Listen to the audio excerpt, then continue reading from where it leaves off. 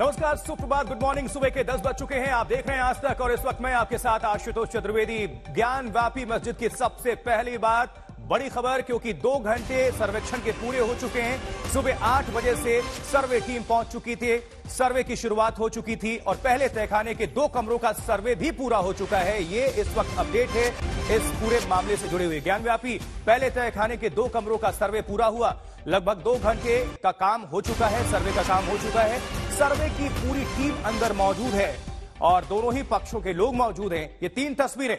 दो घंटे का सर्वे पूरा, पहले तहखाने का सर्वे पूरा हुआ, दोनों तहखानों की मिल गई है चाबी, ये भी अपडेट बता दें। हमारे दो सहयोगी दो सहयोगी इस वक्त बनारसी में मौजूद हैं, ज्ञानव्यापी, पर हर एक अपडेट, हर एक खबर हर एक गतिविधि पर उनकी पारखी नज़र है और आप सभी दर्शकों तक साझा कर रहे हैं। कुमार अभिषेक लगातार अपडेट दे रहे हैं और अर्पिता हमारे साथ बनी हुई है। कुमार का हम पहले रुख करेंगे। अभिषेक, इस वक्त क्या अपडेट है आपके पास? सबसे पहले दर्शकों को आप बताएँ।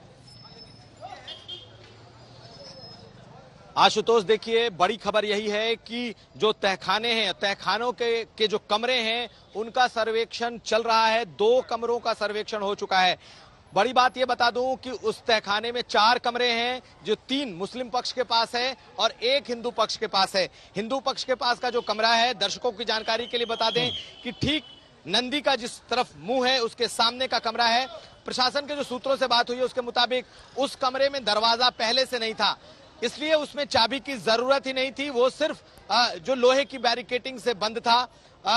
जबकि तीन कमरे जो मुस्लिम पक्ष के पास थे तीनों चाबियाँ इंतजामिया कमेटी के पास थी जिसमें से एक कमरे को खोल करके सर्वेक्षण किया जा चुका है। यानी कि हिंदू पक्ष के पास की एक एक के पास का एक कमरा और मुस्लिम पक्ष के पास का एक कमरा। इन दोनों का सर्वेक्षण हो चुका है। दो और कमरों का सर्वेक्षण इस वक्त चल रहा है। तीनों चाबियाँ मुस्लिम पक्ष के पास थी और आज उन्होंने इस सर्वे टीम के सामने उन कमरों को खोला है और उसके बाद से बकायदा सर्वे के साथ साथ जो टेप और इंच के साथ जो नापा जाता है कि कौन सा कमरा कितने लंबे कितने चौड़ा है इन तमाम चीज़ों की भी कार्रवाई इस वक्त चल रही है। आपको एक और बात बता दें कि जो सूचना विभाग की टीम होती है कैमरा टीम उसको भी अंदर रखा गया है ताकि हर चीज़ सरकारी तौर पर दस्तावेजों के तौर पर दर्ज हो सक, हो सके। कुल मिलाकर इस वक्त सर्वेक्षण जो तहखानों की हम बात कर ले आशुतोष उसमें 50 परसेंट यानी कि पचास प्रतिशत पूरा हो चुका है और जो तहखाने जिसे हम कहते हैं, दरअसल वो, अगर। ज्ञानवापी मस्जिद का आप स्ट्रक्चर देखें तो मस्जिद पहले पहले तल्ले पर है ऊपर मस्जिद है और नीचे जो है वो तहखाने उसमें चार कमरे बने हुए हैं यानी कि वो ग्राउंड फ्लोर के आप कह सकते हैं कि वो कमरे हैं। बिल्कुल अभिषेक आप नज़र बनाकर रखें यानी कि पचास प्रतिशत काम पूरा हो चुका है आज का सर्वे पचास प्रतिशत ये पूरा हो चुका है। अर्पिता भी हमारे साथ मौजूद है। अर्पिता चूँकि ये मामला संवेदनशील है इसलिए लिहाजा सुरक्षा व्यवस्था किस तरह से आप देख पा रही है क्या सुरक्षा व्यवस्था पहले से ज़्यादा चाक चौबंद है या किस तरह की तस्वीरें आप देख रही हैं बताएँ अपडेट बताएँ। आशुतोष, कल जब हमारी टीम यहाँ पर मौजूद थी तो वो मंदिर और मस्जिद जिस जगह पर है, उसके बाहर, वहाँ से रिपोर्टिंग कर पा रही थी। लेकिन आज 300 मीटर की दूरी पर ऐसे ही देखिए बैरिकेड्स लगे हुए हैं। सुरक्षा का सुरक्षा की आपने बात की है तो मैं जल्दी से आपको दिखाऊँ।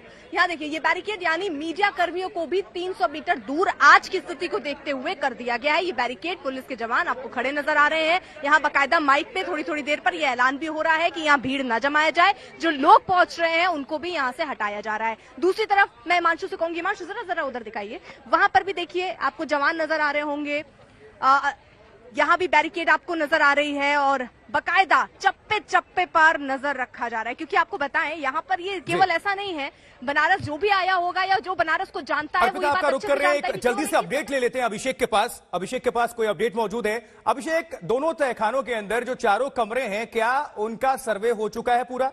सर्वेक्षण हो चुका है उसका? चलो रखो।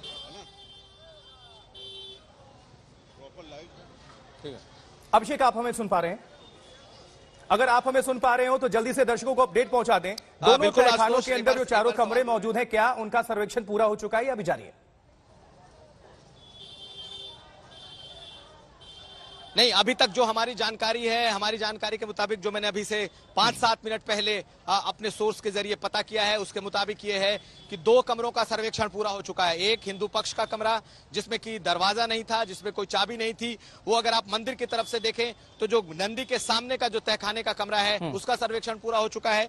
जो मुस्लिम पक्ष के पास उनके पास तहखाने के तीन कमरे हैं एक कमरे का उसमें से सर्वेक्षण पूरा हो चुका है दो कमरों का अभी सर्वेक्षण चल रहा है। यानी कि आ, आ, आ, अगर आप तहखानों के लिहाज से देखें तो 50 परसेंट काम तहखाने का हुआ है। लेकिन पूरे परिसर का अभी 50 प्रतिशत नहीं हुआ है क्योंकि इसके बाद दीवारें हैं खंबे हैं बकायदा इन तमाम चीज़ों का सर्वेक्षण होना बाकी है और वो इन तहखानों का काम जब पूरा हो जाएगा उसके बाद होगा। दो घंटे से ज़्यादा का वक्त गुजर चुका है आशुतोष लेकिन तहखाने का जो काम है वो इस समय चल रहा है। आपको बता दें कि कई टीमें इसमें लगी हैं। यहाँ तक कि जो सूचना विभाग की एक टीम है वो भी लगी है। बकायदा इंच फीता लेकर के उन कमरों को नापा जा रहा है उनकी लंबाई नापी जा रही है। लेकिन एक बात बिल्कुल साफ़ है कि किसी भी चीज़ को छूने की मनाही है। यानी कि अगर कोई ऐसा प्रतीक वहाँ मिलता है तो उसे छूना नहीं है सिर्फ़ उसकी फोटोग्राफी या वीडियोग्राफी होनी है। तो कुल मिलाकर तहखानों में से 50 परसेंट तहखाने का सर्वेक्षण पूरा है। यानी सबूतों से छेड़छाड़ ना करें बस आप फोटोग्राफी करें और आप वीडियोग्राफी करें यानी सबूत आप जो भी हो पेश करें। चलिए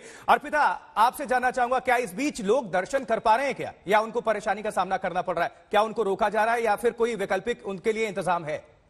रास्ता छोड़ा गया। है आशुतोष, यहाँ एक खास बात ज़रूर देखी जा रही है। आज जैसा माहौल है, जो संभावनाएँ दिख रही थी, उस लिहाज से सुरक्षा बढ़ाई गई है।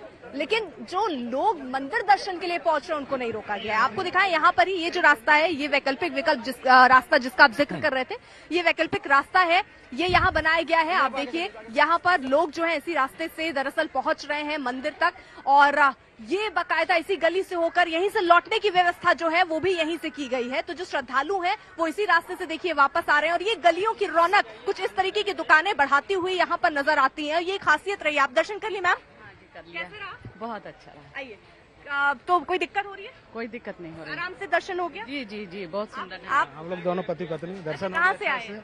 हम लोग आए यहाँ से गुड़गांव से। गुड़गांव से आए हैं? देखिए सर। सर तो मतलब आज तो एक ही गेट खुला है तो कोई दिक्कत नहीं हो रही? नहीं हुआ कोई दिक्कत नहीं हुई। बहुत अच्छे ढंग से पहुँचा रही तो देखिए यहाँ जो लोग हैं जो दर्शन करके। पहुँच रहे हैं वो ये बात बता रहे हैं कि बहुत आराम से दर्शन जो है वो मुमकिन है। ये गलियाँ अगर हम आपको दिखाएँ तो वो आपको काशी विश्वनाथ की ये गलियाँ थोड़ी बहुत झलक याद दिलाती होंगी जब वो काशी कॉरिडोर जो अभी निर्माण हो चुका है भव्य तौर पर उससे पहले कुछ ऐसी ही गलियाँ होती थी और ऐसी ही गलियों से ये लाइन लगा करती थी मैं अगर बताऊँ। यहाँ आप समझिए जाने वालों की लाइन अगर मानिए यही गली हो और इधर से आने वालों की। इतनी छोटी सी सकरी से रास्ते से लोग जो है वो जाया करते थे दर्शन करने के लिए बाबा काशीनाथ विश्वनाथ के दरबार में। इसी तरह की गलियाँ होती थी। इसी तरह ये जो आप देख रहे हैं ऐसी रौनकें रहा करती थी दोनों ही तरफ़ दुकानों में ये भी हमने देखा है जी। क्योंकि बनारस की खासियत यही है कि ये गलियाँ जो है इस बनारस की पहचान है। और ऐसी पहचान यहाँ पर लोगों का कहना है ये ज़िंदा रहनी चाहिए और लोग इसी के साथ हर हर महादेव के नारे के साथ यहाँ दर्शन करने के लिए पहुँच रहे हैं। बिल्कुल अर्पिता इस वक्त अभिषेक का रुख करते हैं। कोई वहाँ पर अपडेट निश्चित तौर पर मौजूद होगी क्योंकि पल पल में वहाँ पर जानकारी सामने से निकल कर आ रही है। अभी अंदर से कोई अपडेट मिले तो दर्शकों को बताएँ। अभिषेक। बिल्कुल देखिए लगातार हम जिस अपडेट को बता रहे हैं एक बार फिर अपने दर्शकों के लिए हम बता दें कि कौन सा वो इलाका है। देखिए इसको समझना पड़ेगा। जो ज्ञानवापी मस्जिद है उसके नीचे एक ग्राउंड फ्लोर है जिसे हम तहखाना कहते हैं। हम समझाने की कोशिश कर रहे हैं उस तहखाने में कुल चार कमरे हैं आशुतोष। एक कमरा हिंदू पक्ष के पास तीन कमरा मुस्लिम पक्ष के पास। ये तीनों चारों कमरे बंद थे लेकिन जो हिंदू पक्ष के पास का कमरा है उसमें दरवाज़ा नहीं है। उसमें सिर्फ़ लोहे की बैरिकेटिंग है जो कि अगर आप मंदिर की तरफ़ जाएँ बाबा विश्वनाथ के दर्शन करें तो जो व्यास पीठ है जो वहाँ पर नंदी भगवान की जो मूर्ति है उसके ठीक सामने का जो कमरा है वो तहखाना खुला हुआ था उसमें दरवाज़ा नहीं था। और उसमें सर्वेक्षण पहले हुआ है। उसके बाद जो तीन कमरे हैं जो मुस्लिम पक्ष के पास हैं उसमें से एक कमरा खोला गया उसका सर्वेक्षण हुआ और अब बचे हुए जो दो कमरे हैं वो दोनों मुस्लिम पक्ष के पास हैं उन दोनों का सर्वेक्षण चल रहा है। अगर आप दिशा की स्थिति से समझें तो अगर आप जो विध्वंस वाला दीवार होती दीवार दिखाई देती है जिसकी तस्वीरें हम लगातार दिखा रहे हैं कि जिस विध्वंस की दीवार पर वो मस्जिद का गुंबद है दरअसल वो पश्चिम पश्चिमी हिस्सा है। पूरब की तरफ़ से मस्जिद खुलती है उत्तर की तरफ़ भगवान इस वक्त जो बाबा विश्वनाथ है उनका मंदिर है और दक्षिण की तरफ़ से जो जो मुस्लिम समुदाय है वो प्रवेश करता है। तो दक्षिण की तरफ़ के तीन दरवाजे मुस्लिम पक्ष के पास है जिसमें से एक एक करके वो खोले जा रहे हैं। तमाम चाबियाँ कमेटी के लोगों के पास थी तीनों चाबियाँ और इन तीनों चाबियों की मदद से इसे खोला गया है। जो प्रशासन ने बताया कि हिंदू पक्ष के पास एक चाबी होती है प्रशासन के पास भी होती है लेकिन चूँकि उसमें दरवाज़ा ही नहीं था इसलिए उसे खोलने की अलग से ज़रूरत नहीं पड़ी। उसे इसलिए वहाँ पर जाना इसलिए मुश्किल था क्योंकि पहले से वो बैरिकेटिंग के भीतर रहा है यानी कि जो लोहे की बैरिकेटिंग है उसके भीतर रहा है। तो दर्शकों की आसानी के लिए हम इस बात को समझ सकते हैं या समझा सकते हैं कि किस तरीके से इस वक्त वहाँ सर्वेक्षण का काम चल रहा है। बिल्कुल, अगर बिल्कुल, आप श्रृंगार गौरी की बात करें तो वो पश्चिमी हिस्से में है जहाँ पर जी जी जी। बिल्कुल आपका रुख करेंगे। अर्पिता से भी हम समझ लेते हैं। अर्पिता जिस तरह से हमने पिछले दिनों देखा कि सर्वे जिस तरह से वहाँ पर किया जा रहा था थोड़ी नारेबाजी भी हुई थोड़ा हंगामा भी हुआ लेकिन अब कोर्ट की टिप्पणी के बाद क्योंकि कोर्ट ने साफ़ तौर पर कहा था कि कोई भी अगर खलल डाले तो कानूनी कार्रवाई होगी एफआईआर भी दर्ज करें। उसका असर हम देख पा रहे हैं कि शांति व्यवस्था के साथ ये सर्वे तेज गति के साथ आगे बढ़ रहा है। अर्पिता। बिल्कुल, और देखिए, ये जिस जगह पर मैं हूँ, यहाँ बड़ी मुश्किल से एंट्री हमें मिली है और पुलिस के अधिकारी आ रहे हैं जो कह रहे हैं, यहाँ पर आना अलाउड नहीं है, लेकिन हम ये तस्वीरें जल्दी से आपको दिखा रहे देखिए, जी, सर जी, सर, निकल रहे हैं। सर, निकल रहे हैं। ये देखिए, यहाँ पर बकायदा, देखिए, ये जो गली है, यहीं से दर्शन की इजाज़त लोगों को मिली है। जल्दी से मेहमान आइए। आई जरा इस तरफ़ आइए।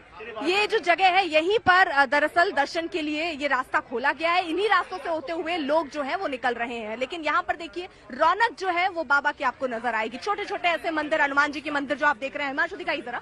वो मंदिर, हनुमान जी का मंदिर देखिए। इसी तरीके ये गलियों में मंदिर है। शिवलिंग अलग अलग जगहों पर आपको स्थापित नज़र आएँगे। और यहाँ पर इस तरीके से देखिए, किस तरीके से यहाँ दूध का प्रसाद, दिखाइए जरा हिमांशु, ये दूध का प्रसाद, ये माला ये अर्पित होता है जब भगवान के दरबार में पहुँचते हैं और लोग यहाँ पर जब आ रहे हैं दर्शन करने तो कुछ ऐसी ही तस्वीरें निकलकर सामने आ रही हैं। तो ये गलियाँ हम आपको दिखा रहे हैं, जहाँ पर इसी रास्ते से दरअसल होते हुए जो लोग हैं, वो पहुँच रहे हैं। दर्शन करने के लिए वो तस्वीरें हम दिखा रहे थे आपको। देखिए, यहाँ पर बकायदा कुछ दुकानें हैं जो अंदर खोली गई हैं। आज दर्शन के मद्देनजर ये दुकानों की तस्वीरें भी हम आपको दिखा रहे हैं। बाहर की भी हमने और आपको ये दुकानें दुकानें अर्पिता जो दुकानें ज्ञान व्यापी से कितनी दूरी पर स्थित है? इनकी दूरी क्या है वो खोली जाए। जी बस आशुतोष आप ये समझिए यहाँ से तकरीबन 100 मीटर की दूरी पर तकरीबन 100 से 50 मीटर की दूरी पर यहाँ आगे। वहाँ तक जाने नहीं दिया गया क्योंकि यहाँ पर सुरक्षा मतलब आसपास ध्यान रखा गया है लोगों के की आस्था के आस्था का ध्यान रखा गया है कि अगर लोग आते हैं श्रद्धालु आते हैं तो उनको कोई तकलीफ़ ना हो वैकल्पिक इंतज़ाम भी किया गया और साथ ही मंदिर भी कुछ खुले हुए हैं अभिषेक आपसे जानना चाहूँगा जो सवाल मैं अर्पिता से ले रहा था अभी हम कोर्ट की टिप्पणी का साफ़ असर देख पा रहे हैं और वो असर ये है कि शांति व्यवस्था के साथ ये सर्वे तेज गति के साथ आगे बढ़ रहा है। क्योंकि पिछले दिनों हमने देखा था कि सर्वे के दौरान कुछ लोग नारेबाजी भी कर रहे थे, कुछ लोग हंगामा करने की कोशिश भी कर रहे थे। लेकिन ऐसी तस्वीरें आज सुबह से देखने को नहीं मिली। अभिषेक।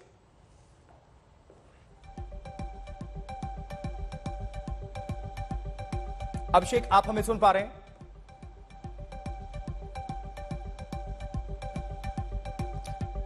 चलिए अभिषेक काम रुक करेंगे।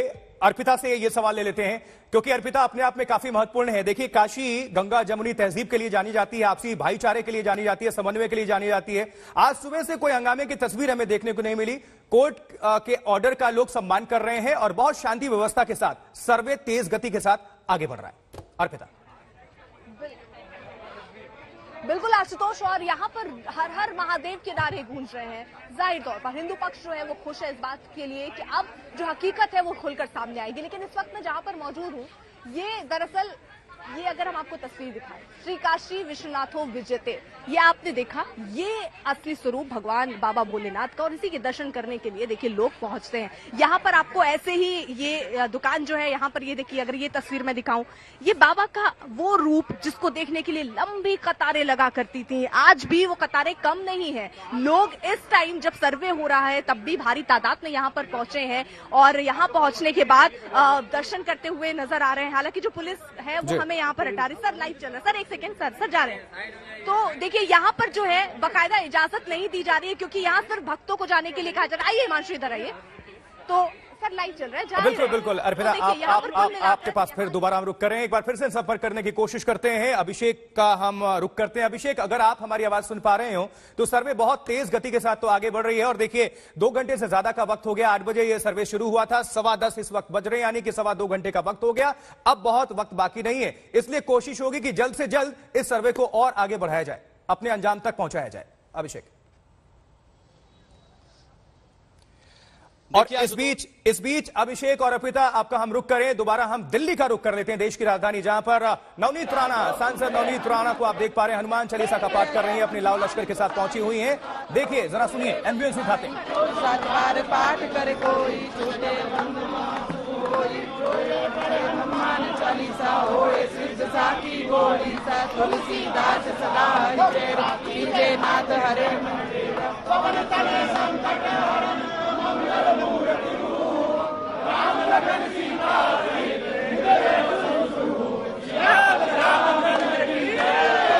हनुमान की जय रामचंद्र की जय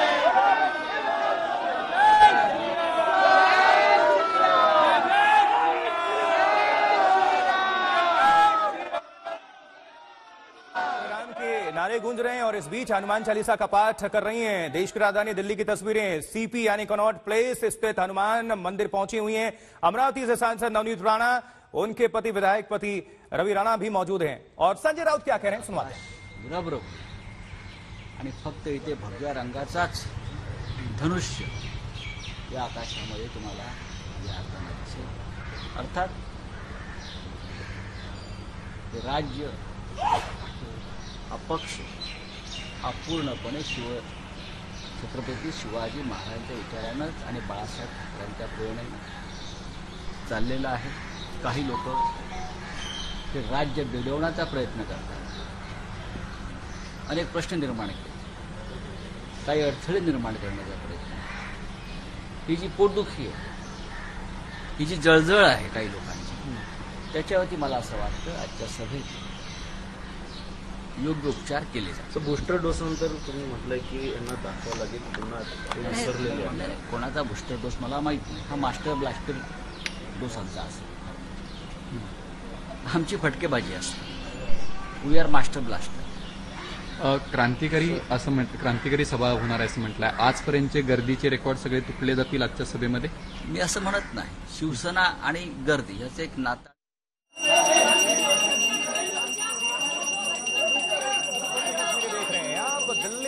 कनॉट प्लेस हनुमान मंदिर हनुमान चालीसा पाठ कर रही हैं नवनीत राणा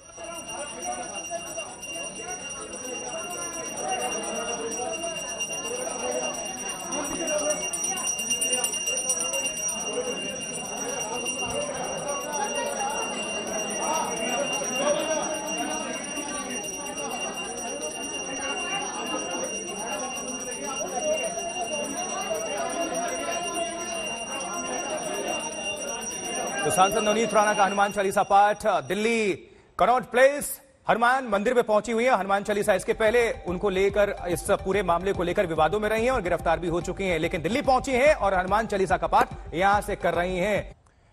अब बात धर्म के नाम पर जारी सियासत की। एक और काशी से लेकर मथुरा और धार से लेकर ताज तक पर कलेश जारी है। मंदिर, मस्जिद की जंग के बीच जारी जंग में औरंगज़ेब की एंट्री ने इस आग को और हवा दे दी है। देखिए रिपोर्ट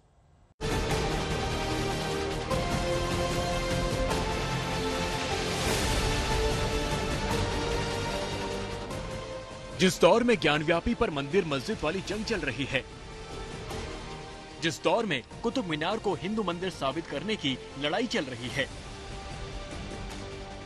जिस दौर में ताजमहल को लेकर याचिका लगाई जा रही है मुगल कालीन धरोहरों पर उंगलियाँ उठाई जा रही हैं।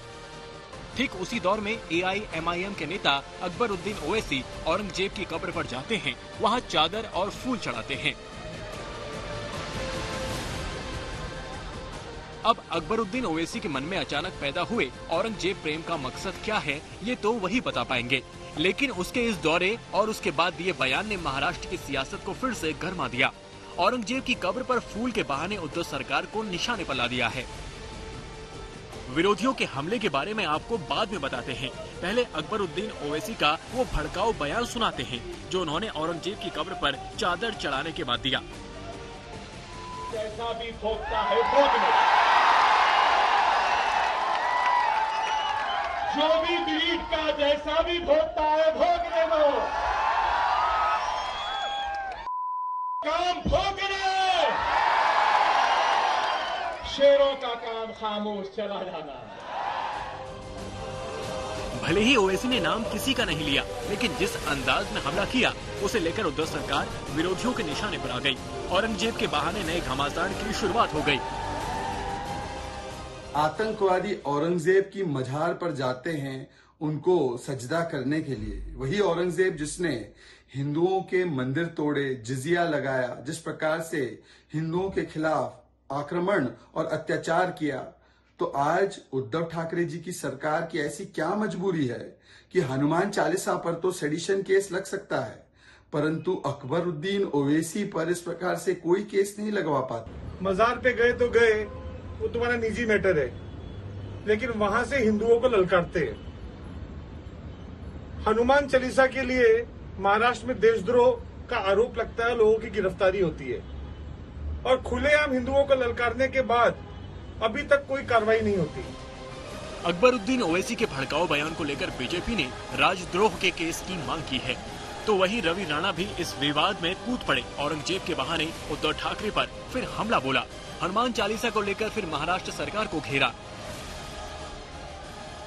इस महाराष्ट्र के अंदर, जो मुंबई में कल आपकी सभा है, अगर आप हिंदुत्व का नारा देते हैं तो उस सभा की शुरुआत श्री राम भगवंता बजरंग बली और हनुमान चालीसा का पाठन कर कर आप सभी की शुरुआत करेंगे कि संभाजी नगर में औरंगज़ेब के कब्र पे फूल बरसाने जाएँगे, ये महाराष्ट्र का, देश के हिंदू का आपको एक सवाल है।